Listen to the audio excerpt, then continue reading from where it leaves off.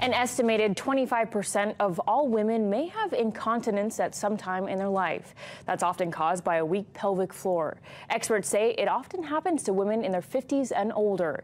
In this week's Aging Well, KITV4's Diane Ako learns how to stop the leak.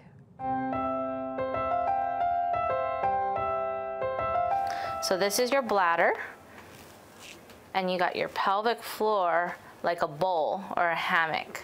That's Physical therapist Nicole Tramontano was teaching a patient how to tighten her pelvic floor. The 78 year old patient, who wants to remain anonymous, said she had an accident when she couldn't hold it long enough to get to the bathroom. Actually, it hit the floor oh. when I got up, and I was not a happy camper. And I got clothes wet. I mean, it's like, what am I, three years old? Tramontano says a weak pelvic floor is the problem.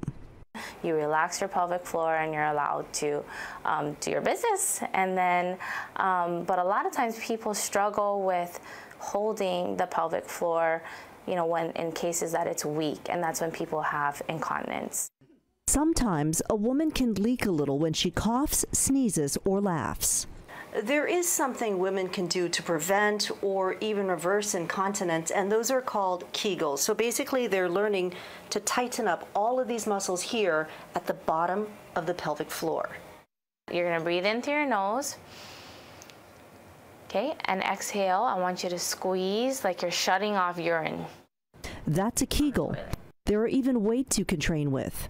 You put this in the vagina and hold it and basically leave it in there and it helps to just train the body to use the, the muscles to, to let this not fall.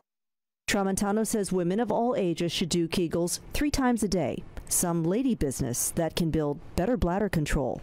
Diane Ako, KITV4, Island News.